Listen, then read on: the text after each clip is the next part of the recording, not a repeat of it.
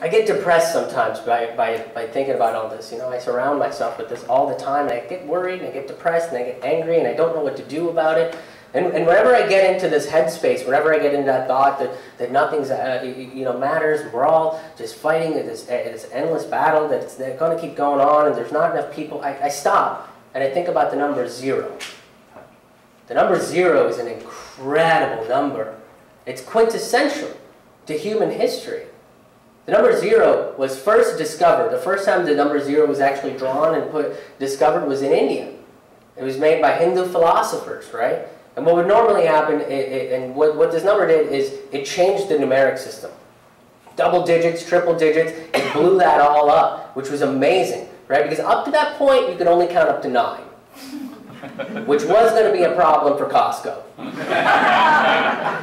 Everybody knows that bulk is 13 and up, so. Right? And of course it was Hindus that invented the number zero, that expanded the numeric system, because we needed a number that could help us count all of our gods.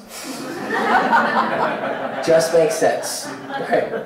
Now, Arab scholars would come to India quite often, and, uh, they would try to learn from what, what these people had and, and to try to take it back to, you know, uh, to their people. And, and so these Hindu philosophers were touring them around some areas, uh, you know, and they were like, that's where those fake Satanists killed that coven of witches. Uh, and, you know, that'll change later probably. we we are trying to work on that. Uh, here's a temple. Uh, it's $10 to go in there. and, then, and then they saw zero. They said, holy shit, what is that? So the Hindu philosopher sat down with the Arab scholars and they explained to them what this was. And the zero was the idea of nothingness because you can't have something without nothing, right?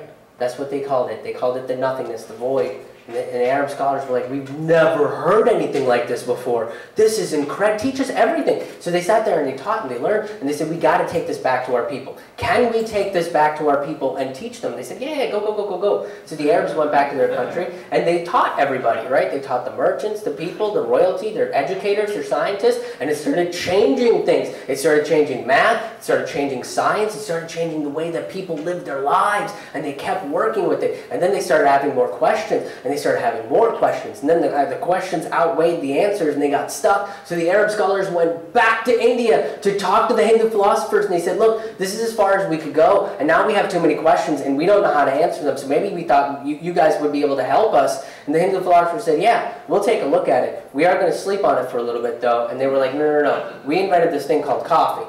we're going to need you to pull an all-nighter, so we, we need those answers now.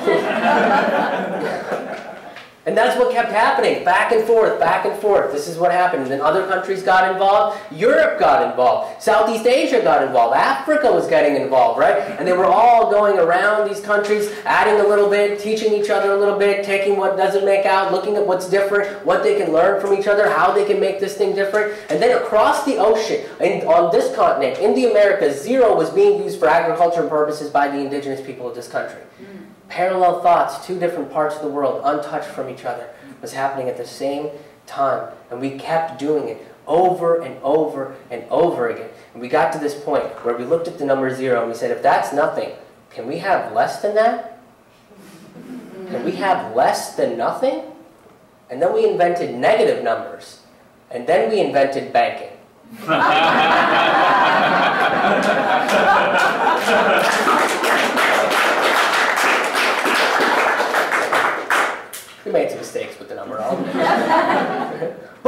idea of negative numbers made zero even stronger. That meant that zero was neither negative nor positive. It was right in the middle. It was right in that center, right? It was balanced. That's what we did. That's what zero represents. Zero represents this idea that we took this number and learned a little bit from it, and then we everybody got to add a little bit something from it. Globally, we went all around the world learning something from this number, learning something from the previous people that had this number, adding a little bit more to it, getting past our differences to try to take a look at what's important and how we can make that shit better. We did that on a global level, and we did that overlooking all of our identities. We didn't really care about any of that, right? We had Arabs and Hindus working together, men, women working working together, black, white, brown people working together, gay people, straight people. It didn't matter. What mattered is how can we take this number to the utmost limit to make it valuable, to make it work, and make it progressive for all of us involved. Every single one of us needs to be able to benefit from this number.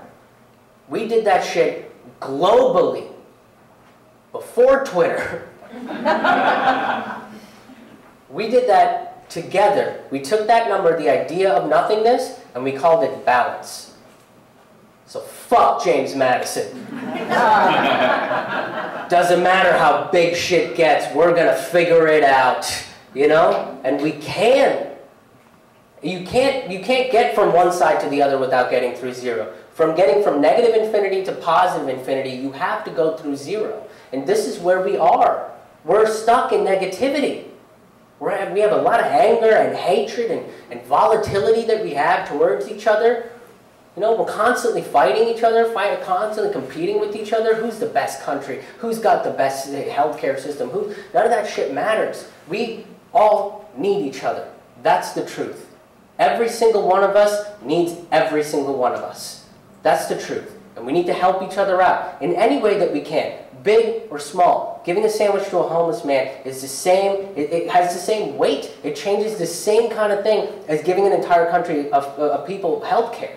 It's the same weight. And we need to start doing that for each other. And then we can start pulling ourselves out of that negativity and start working our way right back to that center point. If we start helping each other out just a little bit more, we can get back to balance. If we start caring about each other just a little bit, we can get back to zero. You guys have been amazing. Thank you guys so much.